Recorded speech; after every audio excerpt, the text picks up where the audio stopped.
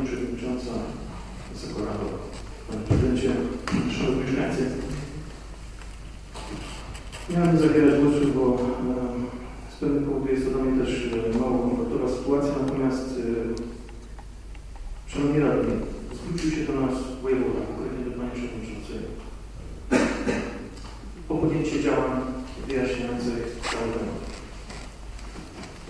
Ja rozumiem, że nie będziemy stali na przeszkodzie, wysłuchamy jak jeden mąż każdej opinii, bo na tym to polega. Ja też pod koniec tej dyskusji chciałbym znać wszystkie aspekty tej sprawy, tak żebym mógł świadomie e, decydować o tym, co nakłada na nas prawo.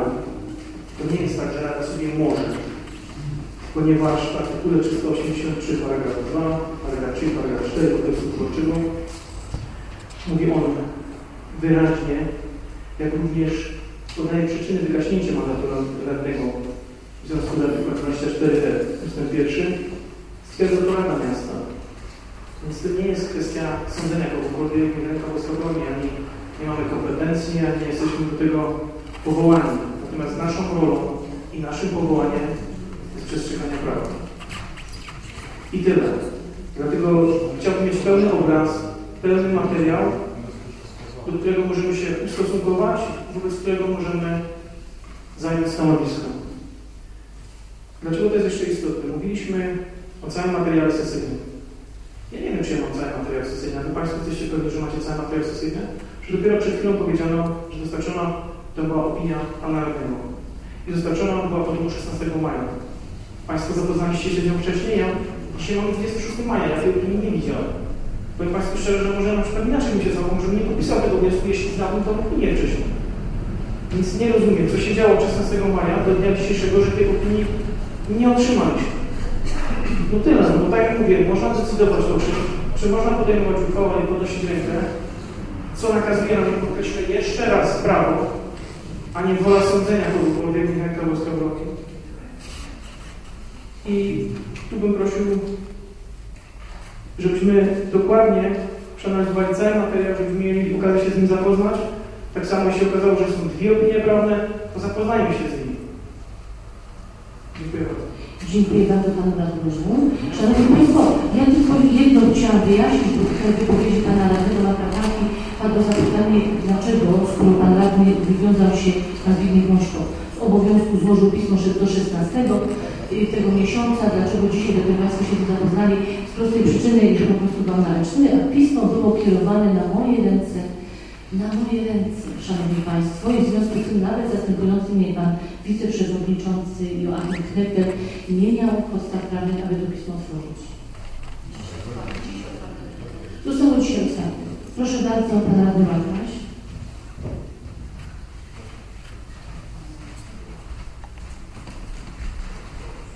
Pani Przewodnicząca, Pani Prezydencie Wysoka Rado.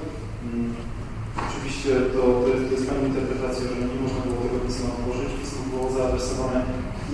Sprawę e, e, Radnego rozpatruje Rada Miejska, nie Przewodniczący Rady Miejskiej. To tak na wstępie.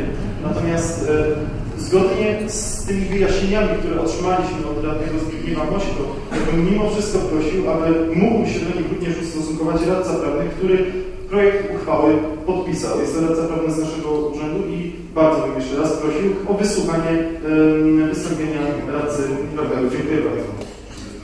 Dziękuję bardzo. Szanowni Państwo, ja może powiem jedno.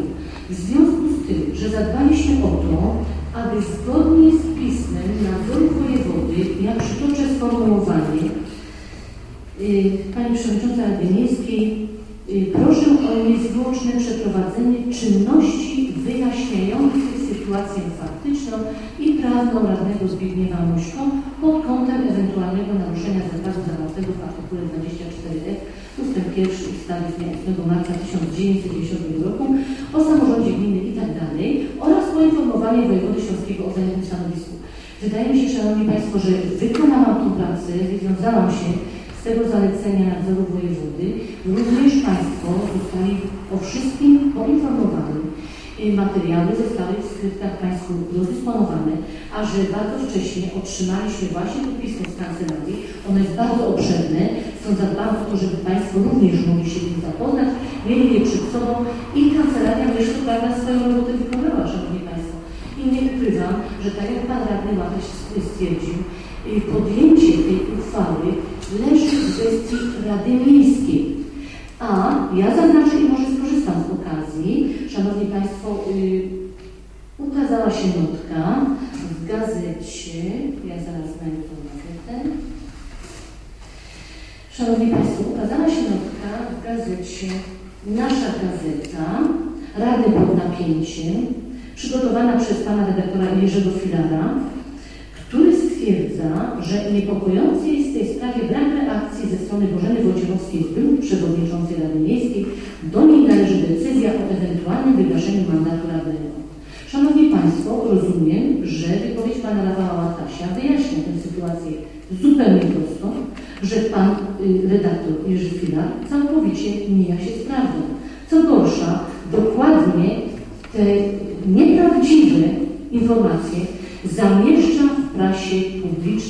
jakoby sterując wyroki.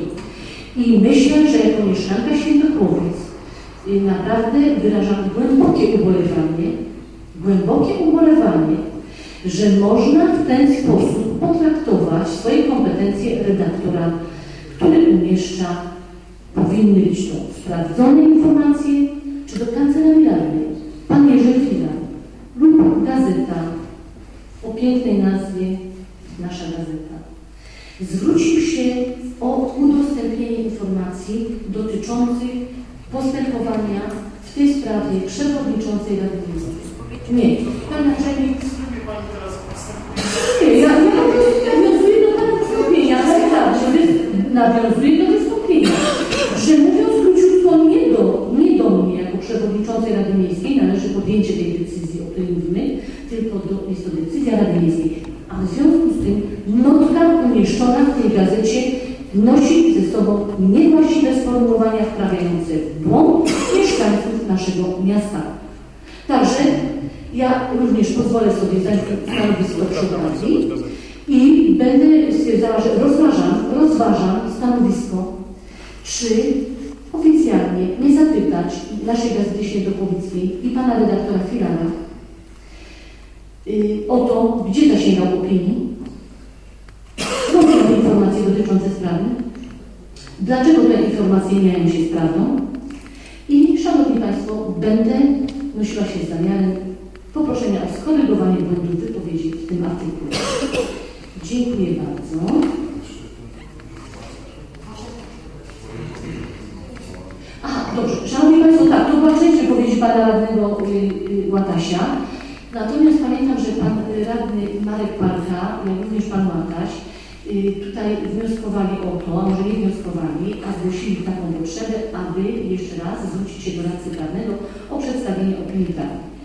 Szanowni Państwo, przypomnę sytuację z dnia 30 kwietnia tego roku, kiedy na sesji Rady Miejskiej osobiście poprosiłam Pana radcę prawnego urzędu o ustosunkowanie się do problemu, dlaczego on nie chce złożyć podpisu oraz przybić pieczątki radcy prawnego urzędu, do czego zobowiązuje statut miasta, pod uchwałą dotyczącą zmiany planów pracy komisji, rozszerzenia planów pracy komisji. Szanowni Państwo, pamiętamy to wystąpienie. Powiem króciutko. Pan radca prawny stwierdził, że według niego, jeśli dobrze pamiętam, to co nie jest ujęte w przepisach prawnych, nie oznacza, że jest dozwolone. Mniej więcej taka była interpretacja. W związku z tym, jako przewodnicząca Rady Miejskiej skierowałam projektę zadaniem sesji Rady Miejskiej oraz wystąpienie i protokół, z tego wiem również był dowolny nadzoru wojewody, skierowałam pismo wraz z uchwałą z dnia 30, 30 y, kwietnia tego roku i proszę zauważyć, że do dnia dzisiejszego nadzór wojewody nie wszczął postępowania unieważniającego tej uchwały, a nawet okaz ukazała się ona na BIP-ie, na Biuletynie Informacji Publicznej. Rozumiemy w związku z tym, że nadzór wojewody nie zgodził się ze stanowiskiem radcy prawnego urzędu. Idąc z tym tokiem myślenia, Szanowni Państwo, możemy zastanawiać się, czy radca prawny urzędu rzeczywiście pomaga Radzie Miejskiej i czy udziela jej odpowiednich, merytorycznych z tym, że mamy bardzo obszerną opinię Kancelarii Prawnej z Krakowa, nie wiem dlaczego nie są to nasi prawni, którym płacimy, gmina płaci, to są dodatkowe koszty.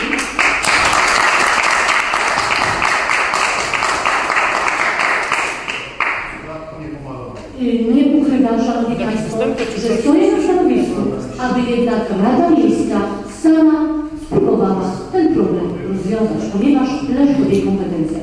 Dziękuję bardzo. Szanowni Państwo, widzę, że zgłaszają się Pan Radny Rafał Łataś i Pan Radny Myśl. Y, Pan Radny Łataś, przewidziałam, że pierwszy i Pan Radny Myśl.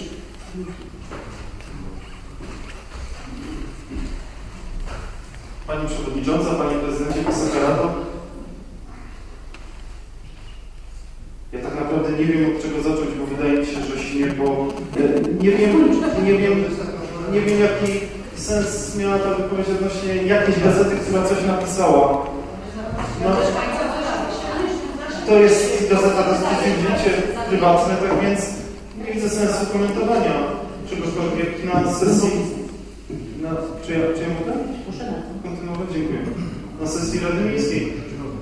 E, Pani Przewodnicząca, jeżeli Pani twierdzi, że Pani zrobiła wszystko w sprawie opisanej bardzo szczegółowo, także w tej opinii prawnej, którą otrzymaliśmy z krakowskiej kancelarii, jeżeli Pani twierdzi, że dochowała Pani wszelkich terminów, to ja pozwolę sobie nie zgodzić się z Panią, Pani Przewodnicząca, bo od momentu, w którym Rada została poinformowana, od momentu, w którym wpłynęło pismo od y, wojewody śląskiego, że jest sprawa rzekomego naruszenia, mówię cały czas rzeko, Panie, pa, Panie Radny, rzekomego z tego prostego powodu, że my dopiero przygłosujemy, znaczy my mamy opinię prawną, która twierdzi, że to naruszenie nastąpiło.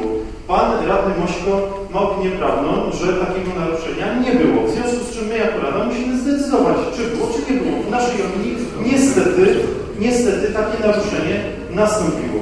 I oczywiście będzie głosowanie, które odpowie na to pytanie, czy naruszenie było, czy nie było. Pozwólcie Państwo, że ja dokończę. Pani Przewodnicząca, trzy miesiące nic nie robienia, trzy miesiące kunktatorstwa, odwlekania sprawy. Tak wyglądało, tak wyglądały te trzy miesiące. W Pani opinii e, wszystko Pani zrobiła, co było, co było w mocy, żeby tą sprawę wyjaśnić. W naszej opinii niestety nie. Nie zrobiła Pani absolutnie niczego, żeby tę sprawę wyjaśnić. Co więcej, chciała Pani tę sprawę e, rozmyć. W naszej opinii, w naszej opinii. Wysoka Rado, nie pozostaje nam nic innego, jak rzeczywiście zagłosować za projektem uchwały zgłoszonym przez grupę radnych, do których doszła ta informacja, że radny naruszył artykuł 24f ustawy o samorządzie, przepraszam, ustawy o samorządzie gminnym, w związku z czym, działając w interesie gminy, my ten projekt uchwały złożyliśmy. Niepokoi mnie fakt, że nie dopuszcza się radcy prawnego, który mógłby tą sprawę również przedstawić, a dopuszcza się e, z naturalnych względów. To jest, to jest naturalne, że powinno się dopuścić zainteresowanego, zainteresowanego do przedstawienia swojej wersji, natomiast zgodnie z prawidłami demokracji powinniśmy również wysłuchać radcy prawnego, który miałby w tej sprawie dużo do powiedzenia, który w różnych opiniach prawnych jednoznacznie stwierdzał, i to powtarzam raz jeszcze, że doszło do naruszenia, w związku z czym ten mandat musi zostać wygaszony. I tyle w tej sprawie. Dziękuję bardzo. Dziękuję bardzo Panu Radnemu. Szanowni Państwo, ja oczywiście oddam za chwilę głos chętnym, ale pozwolą Państwo, że ustosunkuję się do wypowiedzi Pana Radnego Łakrasia, ponieważ zrozumiałam, że ja od kilku miesięcy nie zrobiłam nic w tej sprawie oraz posądzono mnie o punktatorstwo i dążenie do tego, aby tę sprawę rozwiązać. A w związku z tym, Szanowni Państwo, pozwolę sobie nadmienić, nadmieniałam już to na sesji poprzedniej, y, że podjęłam następujące działania, Szanowni Państwo. Odczytam całe pismo, które było kierowane jak i dla Pani do Państwa, jak i do nadzoru wojewody w odpowiedzi na pismo numer NP Ale my mamy to pismo również. Czemu jedne rzeczy odczytujemy, a drugich nie? Nie rozumiem tego. Dlatego, że Rada Odczytujmy to wszystko, jak odczytujemy wszystko, to odczytujemy wszystko, a nie odczytujmy tylko to, co My Pani odczytujemy podoba. wszystko, czy Nie, nie, przepraszam, nie oczekuję Pani wszystkiego. Ale proszę mi dać możliwość odpowiedzenia na zarzuty. Ja myślę, że to był zarzut. Bardzo czy poważny. każdy z nas na sesji ma komentować to, co się ukazało w prasie na temat każdego. Szanowni Państwo, powiem jedno. Przed chwilą Pan słowo punktatorstwo chce się odnieść do zarzutu i myślę, że ma takie prawo. A w związku z tym udzielam sobie głosu. Szanowni Państwo, w odpowiedzi na pismo nr NP2 4100.37.2014 z dnia 24 kwietnia 2014 roku w sprawie niezwłocznego przeprowadzenia czynności wyjaśniających sytuację faktyczną i prawną radnego Rady Miejskiej Świętochowicach pana Zbigniewa Mośko pod kątem ewentualnego naruszenia zakazu zawartego w artykule 24f ust. 1 ustawy z dnia 8 marca 1910 roku o samorządzie gminnym niniejszy informuje o dotychczasowych działaniach podjętych w tej sprawie. W dniu, dzie- ja skrócę, proszę Państwa, tą historię. W dniu 10 marca bieżącego roku wystosowałam pismo do radnego Zbigniewa Mośko. W dniu 18 marca wystąpiono do radcy prawnego urzędu. W oparciu o opinię radcy prawnego urzędu w dniu 20 marca, w dniu 9 kwietnia wystąpiłam do prezydenta miasta. W dniu 8 kwietnia radny Zbigniew Mośko złożył na moje ręce pisemną gotowość do współpracy. W dniu 10 kwietnia poinformowałam nadzór radny wojewody śląskiego o postępach w sprawie. W dniu 18 kwietnia prezydent miasta wystosował na moje ręce pismo zawierające ustalone fakty. W czasie obrad sesji w dniu 30 kwietnia poinformowałam radnych, wystosowałam odpowiedź na pismo pana radnego Łatasia, pismo do nadzoru wojewody, odpowiedź yy, i otrzymałam pismo pana Zbyszka Mośko dnia 16 maja yy, i, na, i właściwie to jest koniec moich działań. Myślę, że to nie jest zdecydowanie nic i trudno nie wykonać okultatorstwo. Niemniej, Szanowni Państwo, proszę zauważyć, że sprawa jest na pewno kłopotliwa, tak? Ta opinia radców prawnych, która wydaje się być oczywista, w ogólnikowym zarysie, w szczegółach wcale taka oczywista nie jest, Szanowni Państwo. I mnie się wydaje, że akurat ta sprawa powinna być rozpatrywana przez sąd. To jest moje osobiste zdanie. Natomiast chcę Państwu jeszcze przeczytać fragment z uwag uzupełniających i wniosków końcowych tej opinii Kancelarii Prawnej z Krakowa, którą Państwo mają i otrzymali dwa tygodnie bodajże temu. Szanowni Państwo, stwierdzenie wygaśnięcia mandatu radnego z tego powodu, iż naruszył zakaz łączenia gospodarczej z wykorzystaniem mienia komunalnego gminy wymaga ustalenia i rozważenia okoliczności dotyczących naruszenia tego zakazu z uwagi na cel jego wprowadzenia. Jest nim ograniczenie korupcji i wykorzystywania stanowisk publicznych dla własnych prywatnych celów. Wynika ze stanowiska kancelarii jasno, że w tym kierunku, jeśli dobrze zrozumiałam, y, była podana radnym odpowiedź pana radnego Muśka. Więc Zgadzamy się również z opinią Kancelarii Prawnej z Krakowa, Szanowni Państwo, w tym względzie. I w związku z tym proponowałabym przejść do głosowania, Szanowni Państwo. Do głosowania. Kto jest za przyjęciem uchwały?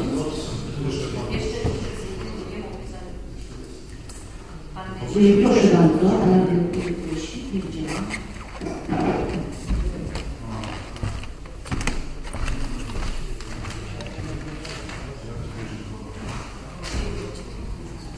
Pani Przewodnicząca, Wysoka Rado, Panie Prezydencie, Szanowni Mieszkańcy. Pani, Prezy- Pani Przewodnicząca, taka mała uwaga. Ja myślę, że Pani jest zdenerwowana. To Proszę nie sugerować. Wydaje mi się, znaczy, że- to widać i chcę Pani przypomnieć tylko taką drobną uwagę, że Pani reprezentuje wszystkich radnych. Z tym się Pani zgodzi. Po drugie, ja myślę, że Pani Przewodnicząca, byśmy się tutaj spotkali i ta sesja ma jakby dać jasną i celową tutaj decyzję, czy nastąpiło złamanie prawa, czy nie. Więc z samej tej definicji wynika, że powinniśmy i Pani powinna dążyć do tego, żeby wszystko, co było do powiedzenia, żeby wszystko, co, co by mogło być za i przeciw, zostało tutaj na tej sesji wyartykułowane. Ale Pani tego nie chce robić. Yy, Dalej. Yy, Pani Przewodnicząca, tak było powiedziane, Pan Radny Mośko 16 złożył wyjaśnienia. Dzisiaj mamy taki dzień, a nie inny. My, czy grupa wnioskowa, to, grupa, która wnioskowała, miała to, co miała w postaci różnych opinii i tak dalej, nie kryła się z tym. Przedłożyła to, żeby ewentualnie pan Mościu mógł się z tym zapoznać, mógł się do tego ustosunkować. Ale z drugiej strony byłaby potrzebna ta sama procedura. Myśmy nie dostali nic. Dzisiaj zostało, proszę Państwa, odczytane to na sesji chyba w przeciągu 5 minut i jak my mamy się do tego ustosunkować?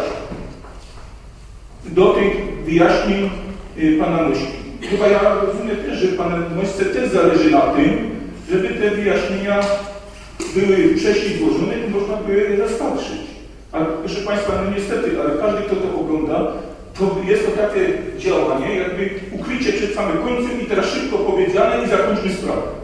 Myślę, że to nie jest nawet w interesie tutaj y, osoby, y, o, o której tutaj dzisiaj y, decydujemy. Y, Pani Przewodnicząca, ja tylko z tych wypowiedzi, odczytanych opinii, bo nie było czasu się z tym zapoznać, tak, to nie wiem teraz, czy obiektywnie, czy nie, czy Pan Mośko mija się z prawdą, ale przynajmniej jak chodzę po, po budynkach, to na korytarzach i budynkach gminnych są kable i skrzynki y, o- internetowe. A z tych opinii wynika, że nie ma. Y, Nie. Ja nie miałem opinii, więc trudno mi w tej chwili na gorąco z nią się zapoznać. Bo Państwo, jak opinia była tutaj od radcy prawnego z Krakowa, to było ile y, dni, żeby można było każdy ewentualny y, zapis z niej rozstrzygnąć, czy się z nią nie zgodzić. Myśmy tej możliwości zostali pozbawieni. Dalej, przecież jest jeszcze powiedzmy zarzut dotyczący nielegal- nielegalnego pobierania prądu i tak dalej, i tak dalej. I o tym chcemy szybko, proszę Państwa. Nie, ja się nie rozpędzam. Więc myślę, Wydawanie wyroków są sądy dobrze, dobrze. Instytucje Bo ja nie może Pani Przewodnicząca, czy Pani, Pan Ja powiem tak, powiem, panie, panie y, radny, oczywiście, że pan nie, natomiast bardzo proszę nie ferować wyroków. Nie ferować wyroków, bo tak jak mówimy, są sądy, które pewne rzeczy Ja nie weryfikuję, ja tylko też zaciągnąłem informacji prasowych, mamy e, skrzynki, mamy maile, gdzie informacje przepływają i, i, i- to można odczytać. Więc ja tylko mówię w tej sensie, żeby to wszystko rozwiać. Tak?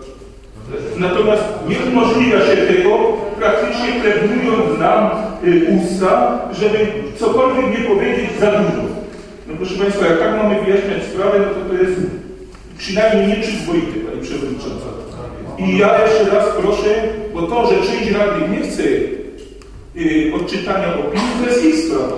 Natomiast ja uważam i część radnych chce. I dlatego, aby rozwiać jakiekolwiek wątpliwości, to proszę o odczytanie tej opinii. Dziękuję. Dziękuję bardzo panu radnemu Bolesikowi. Oczywiście już oddaję głos. Chciałbym powiedzieć, że nie wydaje mi się, że była zdenerwowana myślę, że to mnie na sytuację. Myślę, że Dziękuję sobie Proszę bardzo, pan radny Rawaszek.